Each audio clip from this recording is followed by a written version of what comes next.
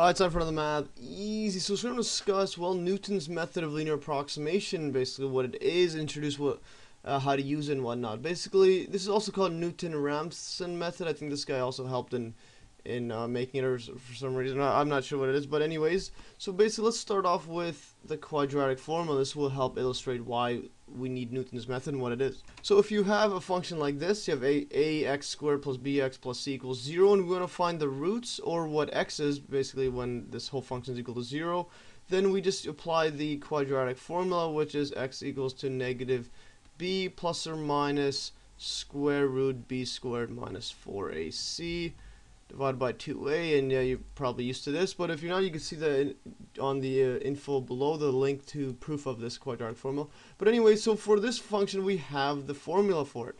But let's say we had a function like 48 yeah like this 48x 1 plus x to the power 60 minus 1 plus x to the power 60 plus 1 and we want to find what x is well at the roots. Well in this case there is no possible formula here. So we can't just basically plug in a formula like this one. So we know from to solve for x. And in fact, the uh, Norwegian mathematician Niels Abel proved in 1824 that there is no general formula that can be given for the roots of a fifth degree equation. This one's x to the 5 in terms of radicals here.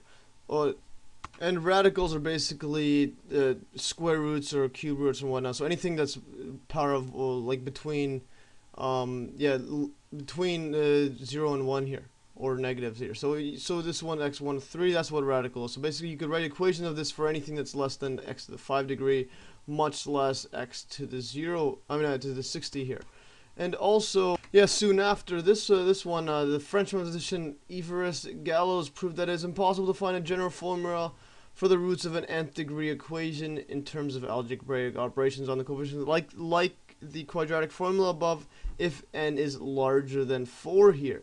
So basically we can't write this function here. It's actually impossible to write this kind of formula for something like this if it's greater than x to the 4 here. And this one's x to the 60, so we can't, we don't have any formula for this one. And uh, also, if you have a function, let's say like cos x equals x here, this one also, there is no formula to solve for the, the roots of this one either. So no formula for this one. So how are we supposed to find this one? Well, if, what your calculator does, what you could do is basically graph the equation. And in this case, it would be something like like this one here, and then well, this x you could just basically graph it like this through it here, and and find it like this somehow. But uh, even then, how your calculator determines this uses either Newton's method or some variation of Newton's method. Now I will show you how to do this right now. Okay, so if you have this, the x and y axis here, and, and if you had a function uh, like this one here, so we'll go like this, and we, we want to find like that, and you want to find the roots of this or this function here, because remember, if this is f of x, and we're all, to find the roots, we have f of x equals to 0 here, and, and this is how usually the formulas are, so you want to find when x, what x is when this whole function equals to 0. This is how the quadratic formula is and whatnot. So basically, how to find this this point right here if we draw this f of x then this is the y equals 0 line. This is when it intersects when this this is true. So we need to find this one right here. Let's call this r here.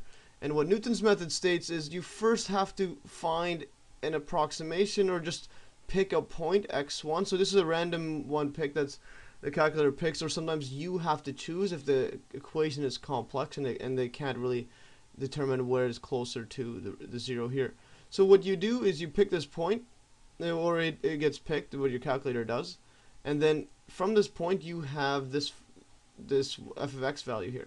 So we have f of x, yeah, f of x1 here now. So what what Newton's method does is it's it determines the uh, the uh, derivative at this point, and it should, if you draw the line of it or the tangent line, it should be closer, and if you draw it all the way down here, it should be closer to the root than where your starting point x1 is. So we'll call this x2 here. So this is number the tangent line. And we, we can determine the equation of a tangent line, because there's a simple tangent line here.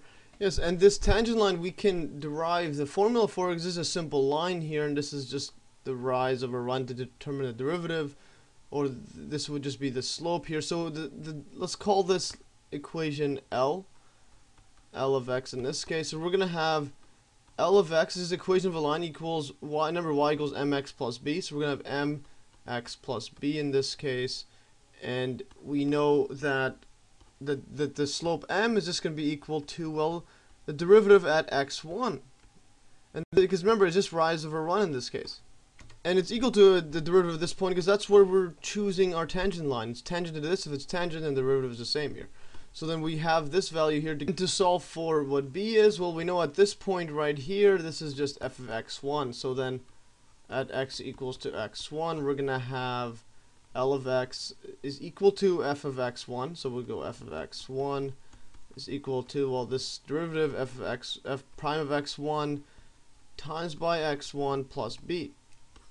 And rearranging for b, we get f of x1 minus f prime of x1 times x1 plug this back in here, the equation of our line is going to be equal to, yeah, right here, just equal to this, this b in, in this case here, and if we just simplify this by taking the like terms out, we're going to get f prime of x1, take the, slope out, x minus x1 plus f of x1. So this is our equation of our line in this case. So now to get x2, well, we just set it equal to 0 in this case. Because remember, this line goes to across the intersect here. So if we set it equal to 0, we're going to have 0 is equal to, yeah, brace f prime of x1. The, this is the times x2 minus x1 plus f of x1. So rearranging this one, we're going to get x2 minus x1. Yeah, we'll have negative f f prime of x1 divided by f of x1. Actually, I made a mistake. The prime's at the bottom here because we shift this to the other side and divided by the prime. Then move this over. We're going to have now x2 is equal to x1, just plus on both sides, minus f of x1 over f prime of x1 here. So this is part of the Newton's method here. So we have a closer approximation for the root. And if we go back to this function here, if we repeat the step here for x1. So instead of doing that, well, let's just do it for x2 here. So we're going to have this one right here. This is f of x2, and then cut it down here.